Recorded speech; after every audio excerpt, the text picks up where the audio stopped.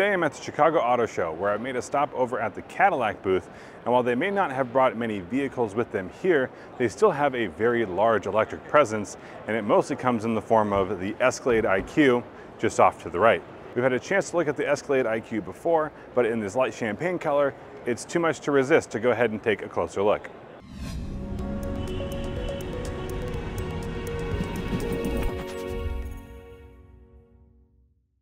Now when I said big, I meant it to cover a few different categories, but we'll start with this number. This 1000 is to reference the Newton meters of torque that these two electric motors are going to be producing for this vehicle.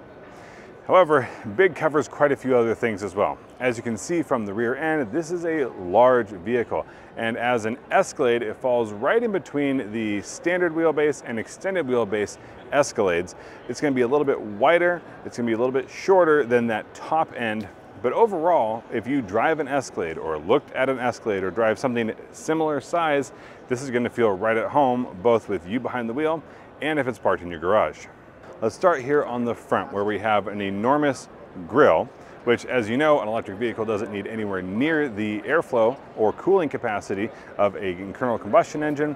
So up here we have a very large shield with a lot of lights. And honestly, I love the way it looks if you are going to spend the money on something like this, it has to have a little extra flair. And while it won't have a roaring engine, it still has a presence. And that presence is a light show every time you turn it on, if that's what you're looking for. It's got nice lines throughout the rest of the grill to really break things up a little bit and add some dimension. If we take a look closer at the lights, these are very sharp, sophisticated, elegant lights that not only do Escalade owners expect, but any Cadillac owner expects.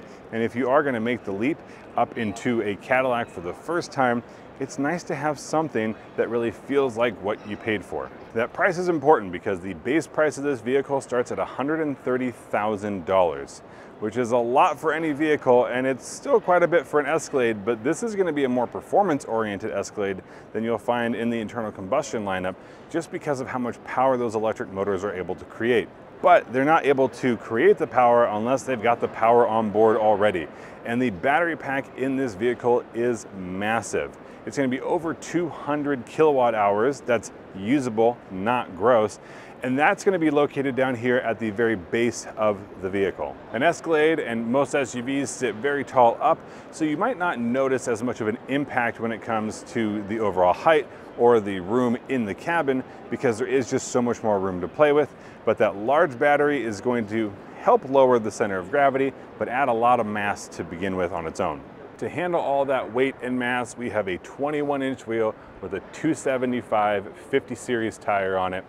This is meant to be a comfortable ride. You are going to have a very supple suspension, but these tires are having to do a lot of work, not just in getting the vehicle to go, but getting the vehicle to stop. And again, if you're in the luxury segment, when you buy a vehicle this big, you really want wheels to match. And while 21 inch wheels are certainly large, it doesn't seem as large on a vehicle that has the wheel arch as big as this one does.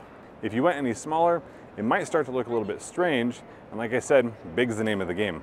Now, unfortunately, we aren't allowed to step inside or touch this one too much, but you don't have to get very close to see the absolutely massive displays.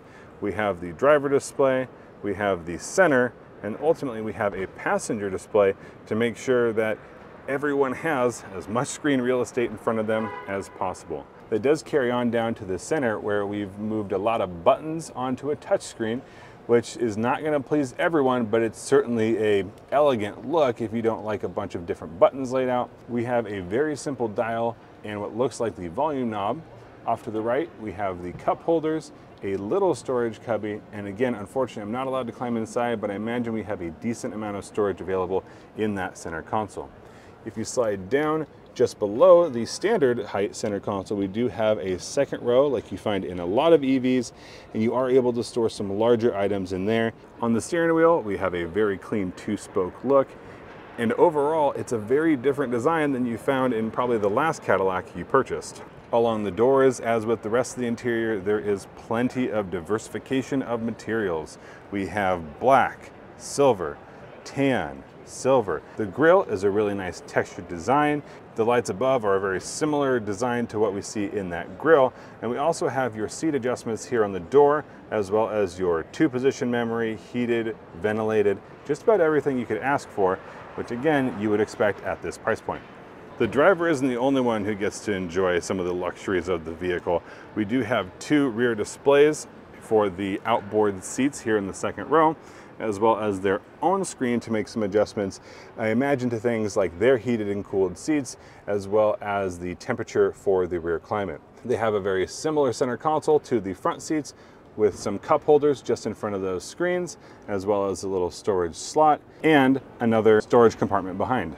The captain chairs here in that second row also feature the same sort of speakers in the headrest that we find in the front. And if you are relegated to the back, don't worry, there is still some room, but obviously it's not the same total luxury experience that you get from the front.